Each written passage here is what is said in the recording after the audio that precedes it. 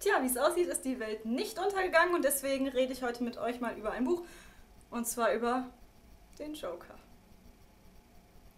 Nicht den. Den anderen.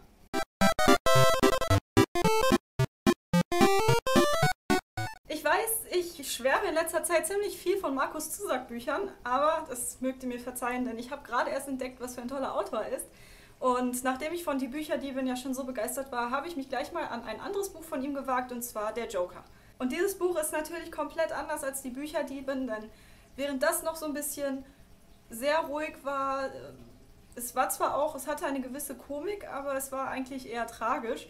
Und es hat natürlich auch ein sehr, sehr ernstes Thema zugrunde liegen, nämlich die Judenverfolgung im Zweiten Weltkrieg.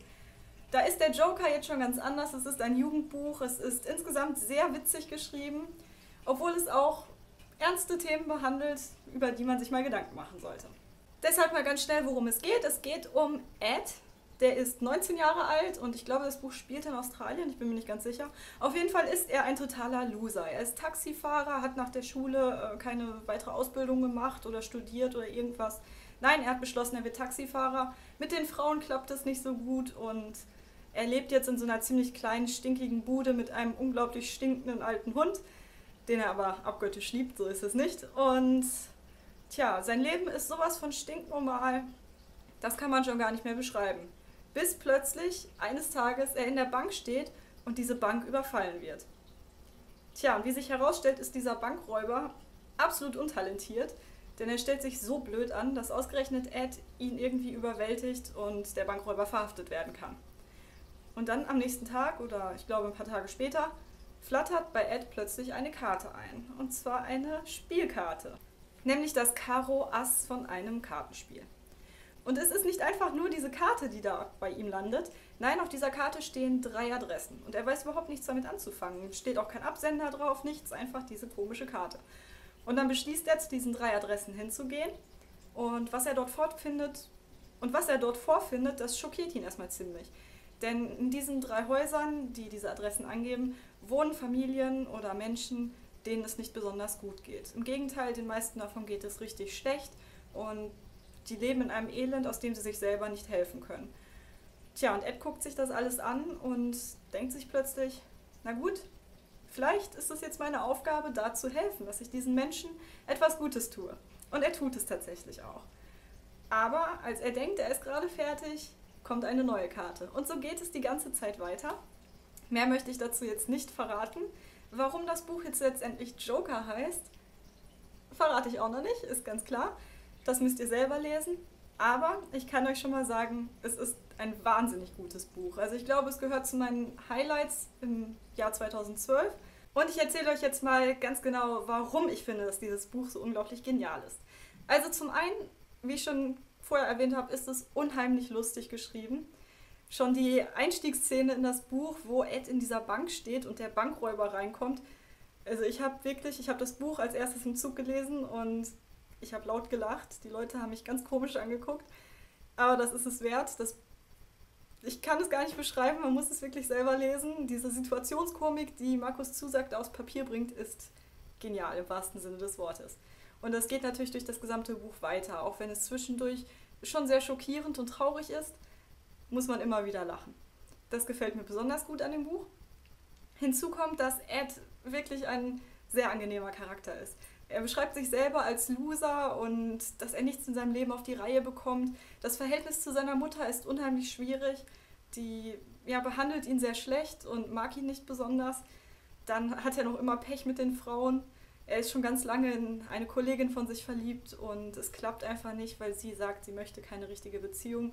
Sie möchte lieber nur lose Dinge und naja, da hat er also immer irgendwie den Kürzeren gezogen. Aber obwohl er so ein liebenswerter Trottel ist, merkt man doch schnell, dass Ed eigentlich wirklich von ganzem Herzen ein guter Kerl ist und ja, man schließt ihn auch selber schnell ins Herz beim Lesen. Man fiebert mit ihm mit, man leidet mit ihm mit, wenn er zu diesen Adressen geht und das ganze Elend dort sieht und erstmal überhaupt nicht weiß, was er jetzt tun soll, ob das wirklich seine Aufgabe ist, da zu helfen.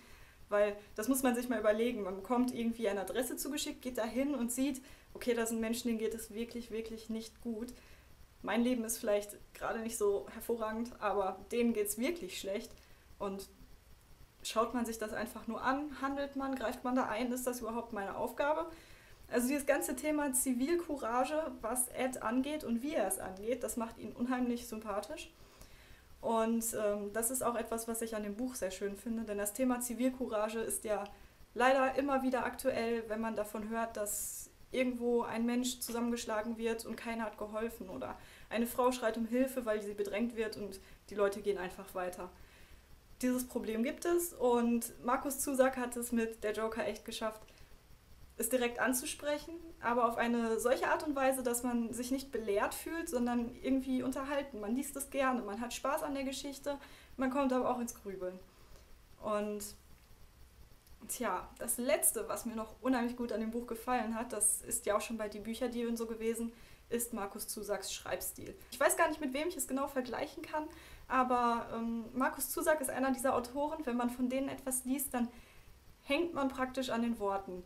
Man möchte sie am liebsten aufsaugen und nie wieder vergessen, weil er einen so präzisen Schreibstil hat. Er drückt sich genau richtig aus. Er findet immer das Wort, was man am liebsten hätte.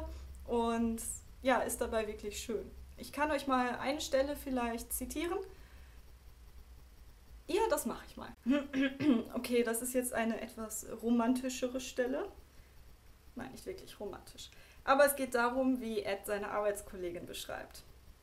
Und da könnt ihr dann vielleicht mal sehen, was ich meine mit, er findet genau die richtigen Worte, sodass man denkt, ha, schön, ja, doch.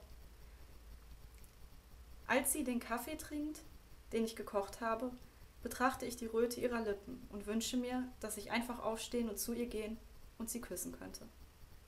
Ich möchte die Körperlichkeit dieser Lippen spüren und ihre Weichheit an meinen eigenen. Ich möchte in sie hineinatmen, möchte mit ihr atmen. Ich möchte mit meinen Zähnen ihren Hals streifen dürfen, mit meinen Fingern ihren Rücken berühren und sie durch das herrliche, zarte Gelb ihres Haares gleiten lassen. Ehrlich. Ja, jetzt habt ihr vielleicht einen kleinen Eindruck bekommen von Markus Zusack und seinem Schreibstil. Und wie gesagt, ich kann das Buch nur empfehlen. Lest es auf jeden Fall. Ich das, ich bin gerade schon überall am Empfehlen des Buches. Äh, ich glaube, ich gehe damit schon allen Leuten total auf die Nerven. Aber vielleicht habt ihr auch Spaß dran. Und ja, so viel zu meinem Sonntagsvideo diesmal. Es ist ausnahmsweise mal nichts besonders Aufwendiges. Es geht ja auch auf Weihnachten zu und von daher habe ich auch noch ganz viel anderen Kram zu tun. Euch wünsche ich auf jeden Fall schöne Feiertage, falls ihr keine Christen seid.